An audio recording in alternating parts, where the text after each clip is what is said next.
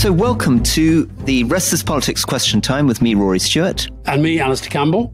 And a reminder we've got a live date in the diary to tell you about on stage performing the Rest Is Politics live, London Palladium, Wednesday, March 22. They go on general sale on Friday, and we will tweet the link in the morning. And now let's get on with some questions. Yeah. So, well, first question I want to start with is obviously I talk a lot about Max Miller, the cheeky chappie, because he played at the Winter Gardens and played at Palladium. And, and the question is, question, question from Joe is, uh, what, what, what's the best Max Miller joke? So I'm going to give you a Max Miller joke. So for those of you who don't know, Max Miller, great 20s music hall comedian. And uh, so he, he goes up on stage. He says, um, he says, I, I, I, I was in Egypt recently and, and I, I was, I was hoping, hoping to get married. And I, I, said to the Pharaoh, Mr. Pharaoh, will you, will you give me, give me your daughter in marriage? And he said, yes, certainly, certainly I will, Max. Certainly I will. Uh, I'll, I'll, give you two acres and a cow. I Haven't seen the two acres yet. There we are. That's the joke. Anyway, the only thing that's oh my god, oh my god, the only, the only, only thing that's interesting about that joke is that it's a Lloyd George joke because Lloyd George believes that the fundamental way to set someone up economically was two acres and a cow, and a lot of what we do in Africa at the moment is actually about helping people get a cow. Makes a huge difference. In fact, Robert Maxwell, your old boss, said that when he was growing up in Ruthenia in the Carpathian Mountains, the greatest ambition that he'd had as a young man was to get a cow. That's how you made yourself in a village.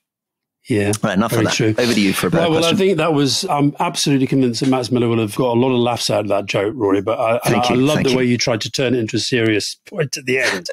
I'm going to take you to something more serious. Emma Stacey, I'd like to know your thoughts on nurses being balloted to strike. Whether you think we can get the support of the public and will they understand it's not just about pay, but standards of care given due to shortages in recruitment. Vincent Pettervel, as a nurse, I have voted for industrial action this week. I'd love to know both of your thoughts on this. Uh, if we as a union vote for strike action, thank you for as always. Well, I mean, okay, let, let me start from my sort of funny ex Tory background and say, firstly, that we should have huge sympathy for the fact that nurses are incredibly overworked, often very underpaid. And of course, it's got much, much worse since Brexit because all the immigration regulations about bringing in nurses from other countries haven't kept up with the demand. So we're hundreds of thousands of people short and are going to come hundreds of thousands more people short over the coming years. So there is a huge problem. But of course, and this isn't really a good answer to nurses, but it's worth thinking in terms of our program, our podcast, that this is just the thin end of the wedge. The entire public sector is strained and stretched and is facing 10% rises in inflation and that's actually often underestimating it. If you, if you think about going to the supermarkets at the moment, you'll find that many basic goods have jumped much more than 10% in the last few months. You know, people are, you know, if you're buying cheese at the moment, you'll find it's often up 30, 40%. That's true for a lot of other staple products. You're taking a long time not to answer the question here, Rory. Well, I suppose what I'm saying is I think I've got a lot of sympathy, but we should also be aware that there's going to be a lot more strike action by many, many more people. And we're going to find ourselves, I fear, going back to something that's going to feel more like the 1970s. There's going to be a lot of striking going on. There's going to be a lot of inflation going on. And it doesn't matter which government comes in, conservative or labor, they're going to be really struggling to control prices, wages, and balance the budget.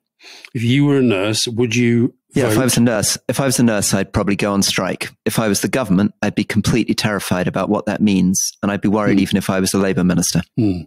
Well, I think also there's a consequence here of previous actions. I felt that the even as far back as the coalition government, I felt there was a strategy that was essentially all about not criticizing, but but this constant sort of demanding of public sector workers to do more, a lot of criticism of what they did.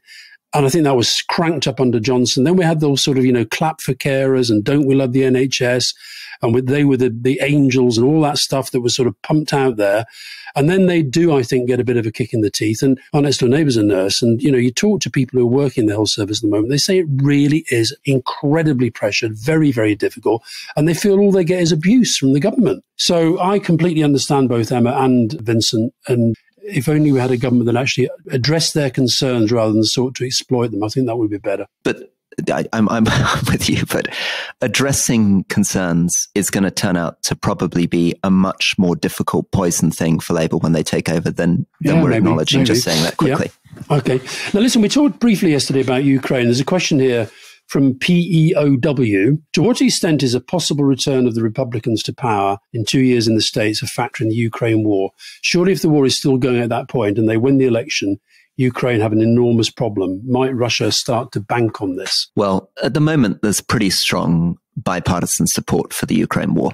That, that's one of the things that Biden's doing, which there isn't much Republican opposition to. The skepticism is only coming from the far Trump wing of the party. So the question is, if Trump wins, yes, there is a problem. I think Trump is has a very, very odd relationship with Putin, and you will have seen interviews with General Flynn, who was his very controversial national security oh, advisor. Oh, God, it was awful. Did you see that interview where he was did, basically yeah. attacking Zelensky? Yeah.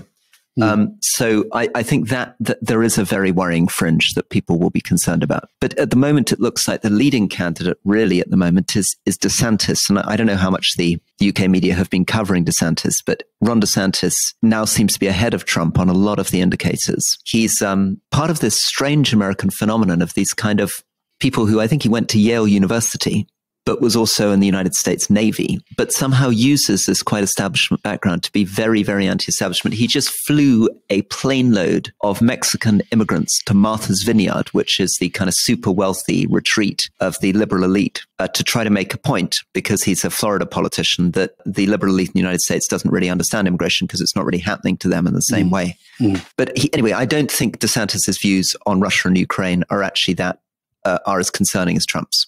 Mm, okay, okay. Katie Parker. Suella Braverman wants to recategorize cannabis as a Class A drug. This would have knock on effects for our already overcrowded courts and prisons, not just overcrowded courts, but courts that you can barely get a case through, clogging them up even more. Is Braverman's proposal just nationalist populist madness? What do you think? Yes. Yes. Well, Oh, I mean, ca- cannabis is a class A drug. It's like, and also, you know, we were t- you were talking yesterday about what uh, what can we do to kind of. I actually think that legalization of cannabis and the the marketization of cannabis, which is happening in a lot of different parts of the United States, and I think Joe Biden has moved on this fairly recently as well. You could actually see it as a bit of a a bit of a money spinner, but I'm afraid Braverman really is. There was a wonderful, um, oh, what is this? it? Was it Private Eye? It was a couple of a headshot of Suella Braverman and Priti Patel, and Suella Braverman's speech bubble says, "How do you think I'm doing?" And Priti Patel says, "I think you could probably be a bit more compassionate." I think when Priti Patel is seen as more compassionate than her successor, then we're in we're in real trouble. Right, question from you. Go on. So, Perry, why do ex-MPs struggle? Rory made a comment in passing last week that ex-MPs can find it very difficult to find employment after leaving Parliament. Can you expand on this? I imagined it to be the opposite, as many seem to fall into comfy roles in the private sector that probably pay a lot more. Now, oddly, that, that just isn't true. And I, I don't know whether you want to talk about Labour MPs who are friends of yours and, and what's happened, but the truth is that the old days, may have been true in the 1960s and 1970s, where MPs could go into private sector jobs comfortably after they left, have, have left couple of reasons. One of them is that we used to have a lot of nationalized industries in Britain, which were basically controlled by the government. So it was very easy for the government to put ex MPs onto the boards of nationalized industries. That's all gone. But also, the reputation of MPs is so low that people don't think there's any status on having on their board somebody who's been a member of parliament. Increasingly, they're looking for, if you're a bank or something, looking for someone on your board, you're looking for somebody who knows something about the subject area. Mm. And MPs are not really qualified. I mean, increasingly they're professional politicians. They, many, many of them now have started as councillors. They've started as party activists. They've done almost nothing else in their lives than politics for 20 or 30 years.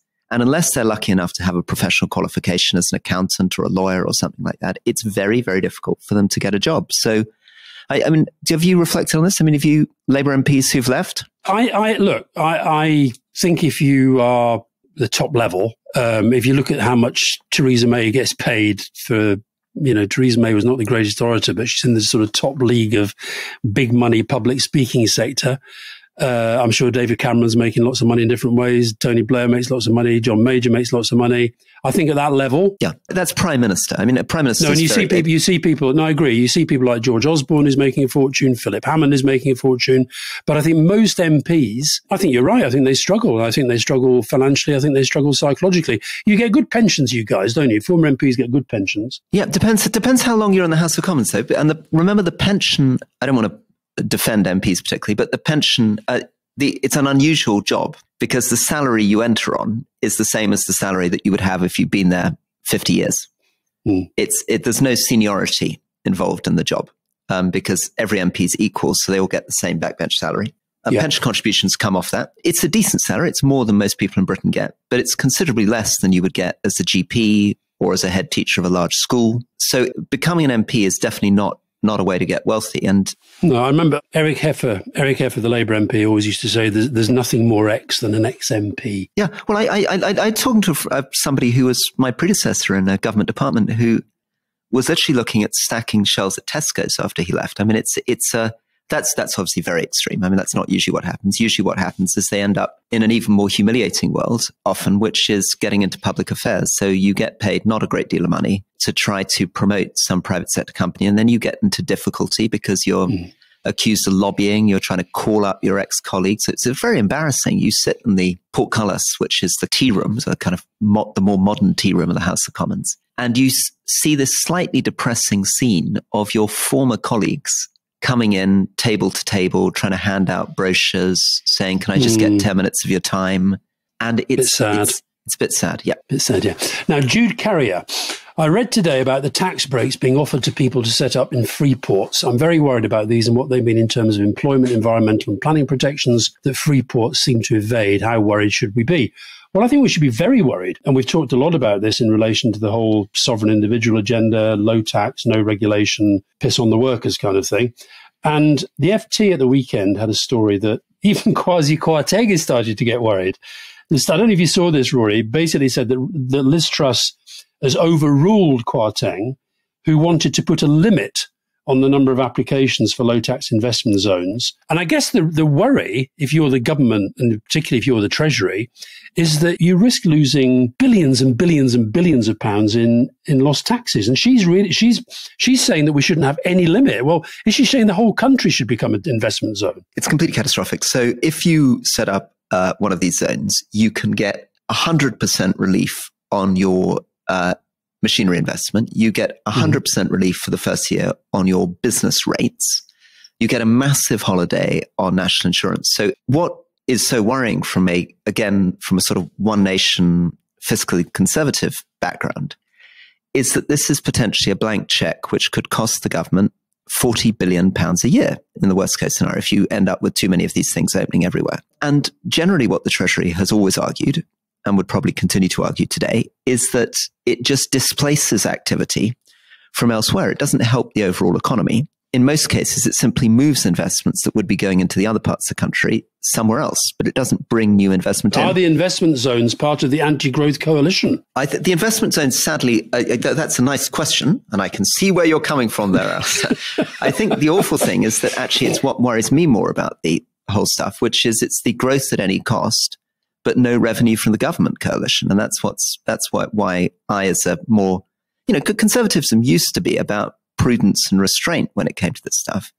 Mm. And what worries me is I, if I was, you know, I, we've talked about this in the past, but Keir Starmer needs to turn it around and say, um, you know, growth at any cost is a very disturbing thing. Here's a question that I got, uh, maybe quickly on this. Ian Birdsall, please can you explain what a one nation conservative is? It's a phrase I just don't understand. And what are you if you're not a one nation conservative? Do you want to have a little quick go at that? Well, before you do, I remember when we talked about Bill Clinton up in Blackpool, and one of his uh, favourite pieces of advice, he, he once said, just remember when they talk about compassionate conservatism, the only word that counts in that is conservatism. so explain, explain One Nation. The, the, One Nation tradition began with Benjamin Disraeli back in the 19th century. And it's essentially about an argument about yeah, social solidarity, about not having a society that's divided between the very rich and the poor. And it became under Mrs. Thatcher a slogan for people that, you know, I'm one of them, right? So we would have called ourselves moderate or center, center right politicians. And she called um, you wets. And she called us wets. So yeah, one nation Tories are wets. That's the traditional definition. And the other side of it are the dry right wing uh, conservatives who in the case of Liz Truss, tend to this very libertarian view, which mm. is um, which is the only thing that matters is economics and growth. Just before we go to the break, little little poem, little 18th century poem for you here. Um, actually, it's Yeats on on the 18th century. What he would have said about Liz Truss is she's not really a Tory, definitely not a one nation conservative. He's what he would have called a Whig, and he says about these great 18th century conservative thinkers like Burke, Berkeley, Goldsmith, he said, all hated Whiggery, that leveling, rancorous, rational sort of mind that never looked out of the eye of a saint or out of a drunkard's eye. All's Whiggery now, and we old men amassed against the world. Mm, nice. So we stand for the saints and the drunkards in the One Nation tradition. Let's go to a break.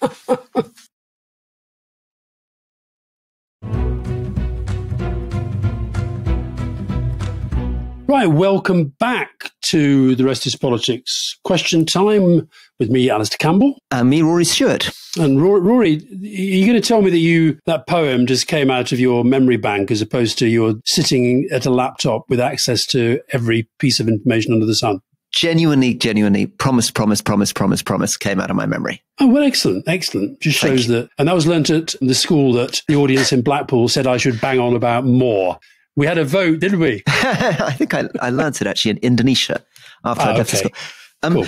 Here's relevance to Lib Dems. Good question, I thought, from a guy called Rob Blackburn. As someone highly disillusioned by the collapse of the moderate, sensible Conservative Party, but not fully confident in the policies and ability of the Labour Party, I find myself wondering where the Lib Dems are in all of this chaos and why they aren't cutting through more. What are your thoughts on this? What do they need to do to find their voice? And I think that is an important question because I think the collapse of the moderate, sensible Conservative Party is clear, but I do think that there are, he, he put his finger on some of the things that people will worry about with Labour, which is are they fully confident in their fully policies, fully confident in their ability? And where are the Lib Dems? Where are the Lib Dems, Alastair? What's happening to them? Well, they, they, of course, had the misfortune of having to cancel their conference, didn't they, because of the, the Queen's death? So I suppose that would have given them a bit of national public attention. They've suffered from two things that have happened in quick succession. One, the coalition. I, I, think Nick Clegg was right to take the Lib Dems into coalition. I think if you're fighting an election, you want to be part of government, you go into it when you get the chance. But that definitely damaged their brand and their electoral standing thereafter because of the whole austerity thing and tuition fees and everything else. And then the second thing that happened is that after the last election, you've got to remember that the, the coverage that is particularly across the, the national channel, the, the big national channels, which then sort of feed down into the rest of the media ecosystem, is dependent upon how many seats you have in Parliament. So even something like Question Time, I mean, people will probably notice that Ian Blackford is called far more regularly at Question Time than uh, Ed Davey, the leader of the Liberal Democrats. So these things have had an impact. But then added to that, I think they've made a mistake in uh, echoing Labour's line on Brexit and sort of basically making it a gigantic elephant in the room that nobody talks about. They don't have a distinctive economic message. They don't have a distinctive social policy message. They, they will probably say, oh, we have lots of policies. It just people don't know about them. Well, I'm sorry. In the modern world, that's just tough. You've got to make sure that people do know about them. Did you work with them closely? I know you were very strongly, obviously, on the Remain second referendum side, which the Lib Dems were on in those days. Did you, did you have a lot to do with the Lib Dems in those days when you were thrown out of Labour. Did you see much more of them then? Uh, not really. I mean, they. I voted Lib Dem in the European elections, but that was about trying to get the Labour Party to change its position, which eventually it did. And the Lib Dems were terribly excited and thought that I was going to become a Lib Dem, which um, I never was. And uh, look, I had a lot. I had lots to do with them, but also had lots to do with you know pro Remain Tories during the People's Vote campaign. But I think they are in a bit of a tricky position. But also, I wouldn't rule out that they become very, very significant in this next election because there are parts of the country where for Labour to win, they need the Lib Dems to do pretty well. I mean, down, I was down in the West Country recently, and you know, down there there are some seats that Labour can take, but there are an awful lot of seats that are going to have to be taken by the Lib Dems. And when we were talking yesterday about the polling being so bad for the Tories, don't forget that the, the SNP is still polling well in Scotland. So that suggests actually that, because the Scots are taken into account in the national polls, that suggests Labour are doing even better in England than the polls might indicate. But the Lib Dems are going to have to do well in certain parts of the country if the Tories are going to be got rid of. And I think a big driver, there's always a central question at any general election. There's usually one negative and one positive. And I think the negative question is, we've got to get rid of the Tories, or, you know, can we really afford another term of the Tories? And then more positively, you know, has Labour got the positive agenda to get over the line? It's such a, it's such a mystery, isn't it? Because given there are so many people to some extent, you and me, but definitely many, many people who listen to this podcast who feel that they are in the center of British politics and are a bit suspicious of left and right. And, and given that actually for many years, the public opinion was like a kind of bell jar with the votes in the center and not many votes on either side, it's extraordinary that the Lib Dems have performed historically so badly that the Liberal Party died in England in the famously in the early 20s. Mm. And that it's never really managed to come back in a hundred years. And I, I, I, it's, it's, it's a bit mysterious. When I was running to be London mayor as an independent, somebody suggested that I could reach out to the Lib Dems and see if I could become their candidate. And the polling suggested that my vote share would have collapsed from something like 13, 15% down to 5% if I'd become the Lib Dem candidate. That actually being an independent was a stronger brand than being a Lib Dem in London, certainly then. 2020. Wow, that's interesting. I mean, I think the look, we're back to the, we've talked about this many, many times, the strength of the two parties. Both the main parties are strong Somebody once said to me not long ago of, of Labour, the problem with Labour is it's too weak to win and too strong to die. Now, actually, I think at the moment Labour is in a pretty good position to win. Uh, but the Lib Dems, I think the peak, the modern peak was the coalition years, and they've paid a price for that. Anthony Bohan. Yep. It sounds like Paul Dacre and Nadine Dorries will soon be joining the likes of Baroness Fox of Buckley and Lord Lebedev of Hampton, Siberia. Isn't it time to abolish or reform the House of Lords? Well, I'm a big reform person. I would like to see a House of Lords. None of the politicians would like it, but I'd like to see it composed of people more like crossbenchers.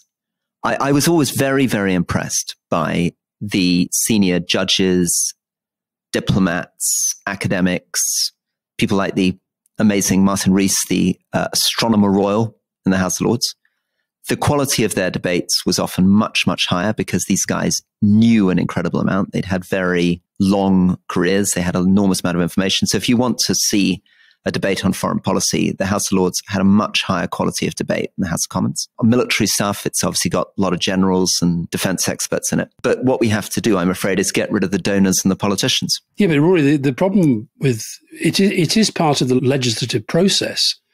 So what you're describing is a kind of expert debating chamber, which may have a place in our politics. But I think reform has got to go way further than that. I, I always had this this dream that, in, in, a sense, we'd have very we'd have a the House of Commons as the centre of our kind of democratic debate. We'd have really powerful regional assemblies and there'd be some kind of link into that. And then we'd also have the European Parliament. We're, we're out of that now, so there's no point thinking of that for the time being. Look, I've, I've actually written my column for the New European about this this week, pegged to the, the new names that have come forward. Which, I mean, the idea of Paul Dacre, I mean, honestly, Paul Dacre, he's, he's done so much damage to our political debate.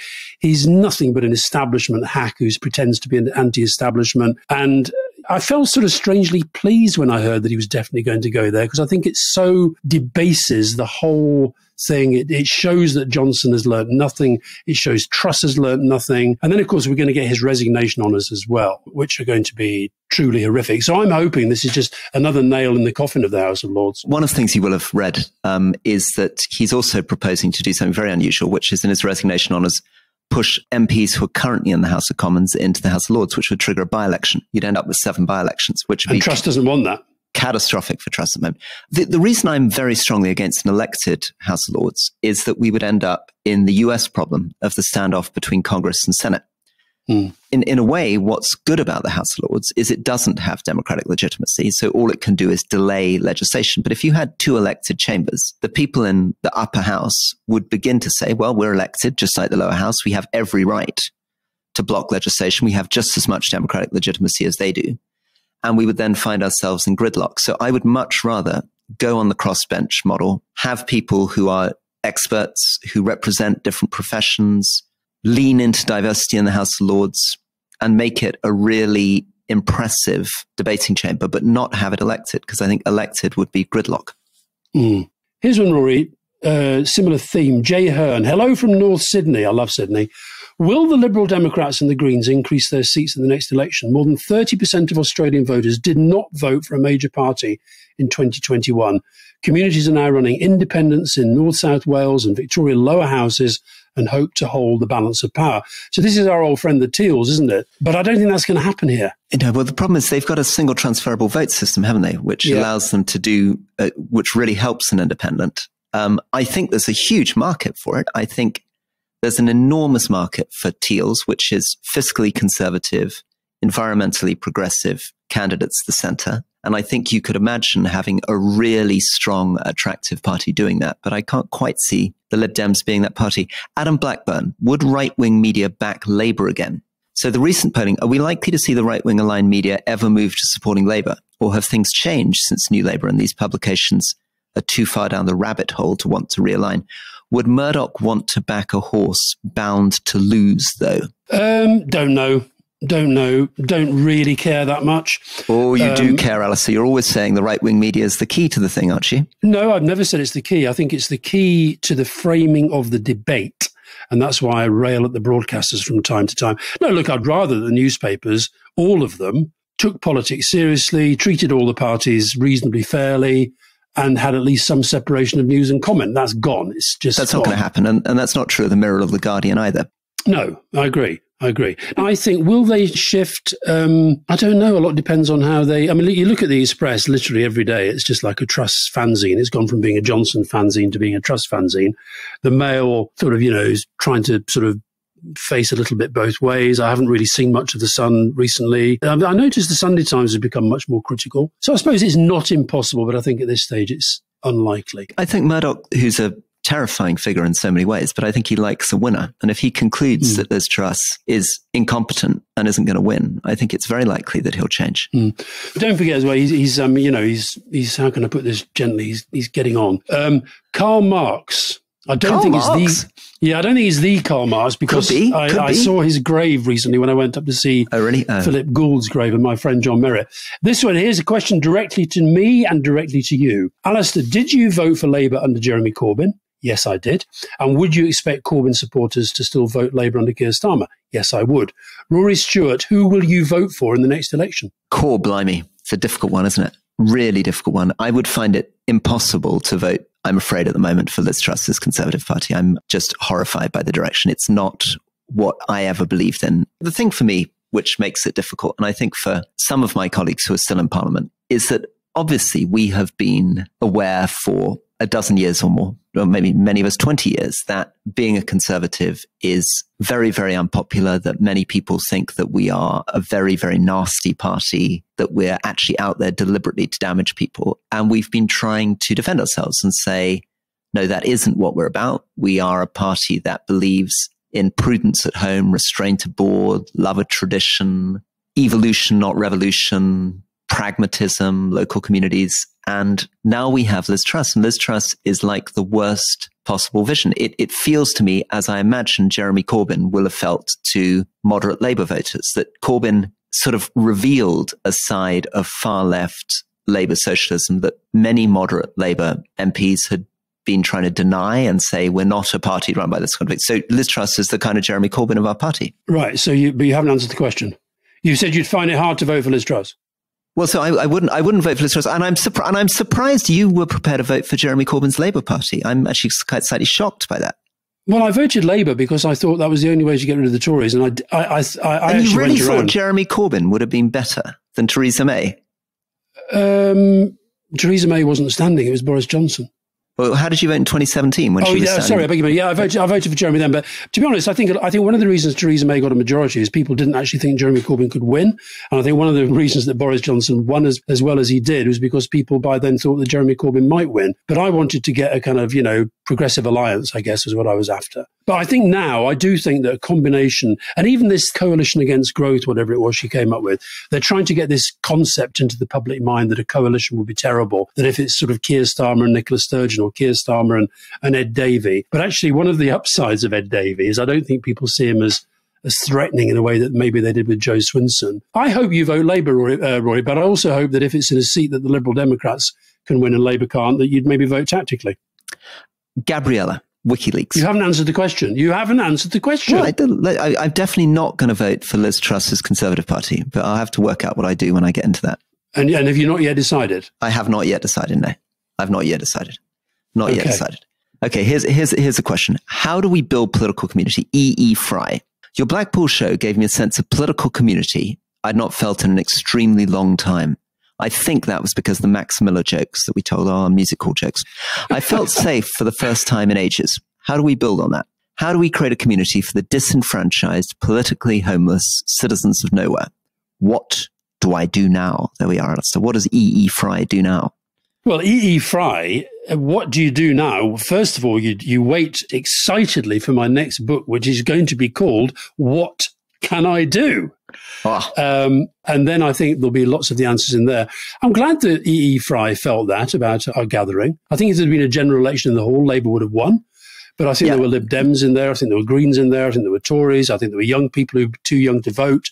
And I think thinking about it in the concept of a political community, I think we do have to win this idea that it's possible to have serious, intelligent, informed debate, that we don't always have to agree with every dot and comma of everything that the other person is saying, but that we can still kind of get along.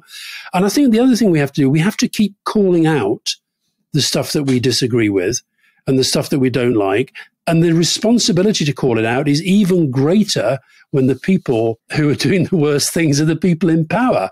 And then I'd say to E. Fry, join a party, whatever your politics are, join a party, join campaigns, be active, stay active, get active, and just don't give up hope. Very good. Okay, now, final one. I think we're coming up towards the end here. At From Escobar, I came all the way from Warsaw to see you. So he came from Warsaw to Blackpool. That's quite the journey, particularly with the train strikes on.